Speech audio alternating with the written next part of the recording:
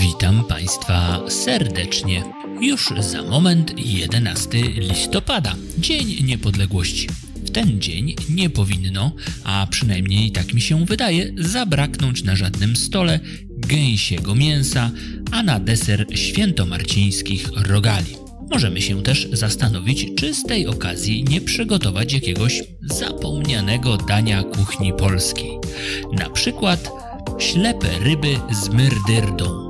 I teraz pewno wiele osób zastanawia się, cóż to takiego i dlaczego ślepe. Widzowie z Wielkopolski zapewne jednak doskonale wiedzą, o czym mówię. Ślepe ryby nie mają bowiem nic wspólnego z rybami, aczkolwiek trochę mają wspólnego z oczami. Tyle, że z oczkami tłuszczu. Tradycyjne ślepe ryby to bowiem bardzo charakterystyczna zupa, gotowana zazwyczaj bez mięsa, stąd właśnie brak oczu z tłuszczu i nazwa.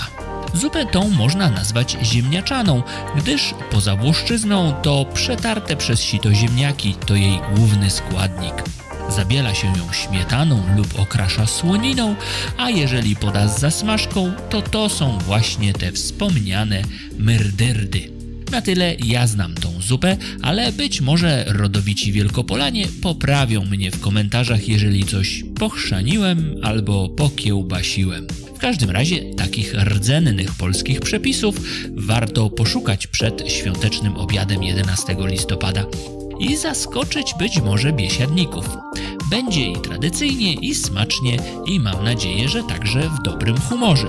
Ale to jest chyba oczywiste, bo tam, gdzie smacznie karmią, tam zawsze jest dobry humor. Życzę więc Państwu miłej świątecznej atmosfery, a kto ma długi weekend, to i udanego wypoczynku. Zapraszam też na inne nasze filmy, z których codziennie dowiedzieć się można, jakie atrakcyjne oferty przygotowały dla swoich klientów ulubione sklepy Polaków. Życzę udanego dnia i do usłyszenia.